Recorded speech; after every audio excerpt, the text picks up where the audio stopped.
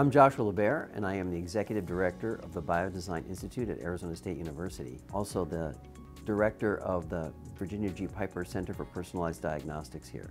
So I wear a number of little hats here at the Institute. I help guide the Institute and build the Institute in the various directions that we go for research and, and development of new ideas. I also lead a center, one of the centers in the Institute. That center is loosely built around early detection of disease and finding ways to treat illnesses. And then I'm a professor. I have a, my own laboratory and we do research, uh, again, largely around early detection of disease. So I, I, grew up here in central Phoenix. We moved here from New York when I was five years old. Phoenix was a pretty quiet town back then. I used to say that it was a big city that thought it was a small town. I got around town, by the time I was a teenager, I got around town all the time by bicycle, which you could do. It's a flat city, so it's easy to ride around. Yeah, it was fun. When I finished high school, and I decided to go to college. And having come from a big city that thought it was a small town, I decided to go to a small town that thought it was a big city. So I went to Berkeley, California and I went to UC Berkeley as an undergraduate. At the time, I had no idea what I wanted to be. I was toying with the classic, you know, do I want to be a lawyer or do I want to be a doctor kind of conundrum. I took honors organic chemistry as a sophomore. We were going to do a multi-stage organic synthesis and we were going to work each week to advance it to the next level and we didn't know if it was going to work or not. It had never been done before. Standing on the edge of human knowledge and facing out into the dark and saying, I want to shed light out there. I want to move out into that unknown space and put knowledge there. That bug bit me hard and, and it has never left. It's, it's why I do what I do. And it was at that point that I decided that it wasn't going to be enough to be a doctor. I really wanted to be a researcher. And, and so that's the reason I did the MD PhD program.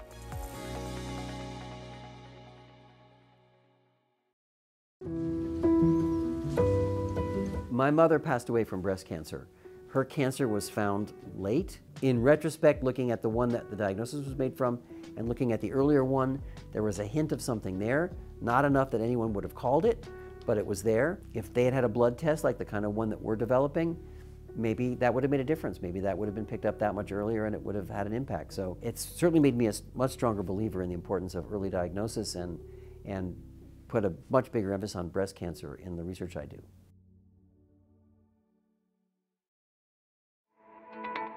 Now to growing concerns about the deadly coronavirus officially hitting the U.S. When the COVID-19 pandemic started, ASU was one of the first places in the U.S. to experience a case of this. No one ever got it from that student, but it was a wake-up call for us. A person in Maricopa County is in isolation after being diagnosed with the deadly virus that's spreading rapidly. It made us realize that this thing was real and we needed to pay attention to it. And how are we going to test our population? We realized that one of the projects that we had already been doing the year earlier used, a used the same technology that was used for detecting the, the COVID-19 virus, the SARS-CoV-2 virus. All right, all right. Have a good Thursday, everybody. Let's go save some lives. You know, we realized that, that testing was the key to understanding where this virus was going and that it was a deadly virus. And so I said, let's go save some lives as we broke up the meeting, as we got up to, to leave. I failed to say it one day, and everybody came to me and said, no, you got to say that every day.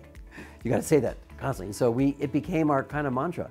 In this case, the goal was to save lives. And so every decision we made in that project was which is the way that's going to take us to save the most number of people, to identify the most number of cases, to get the answer out there. And so we made all of our decisions based on that principle. And that's why we stated it every time we needed. And so what began as a group of seven people meeting every day, seven days a week, quickly became over 130 people meeting every day, seven days a week. The entire community got involved. It was a spectacular thing to, to witness. It was that spirit around this university that was just phenomenal.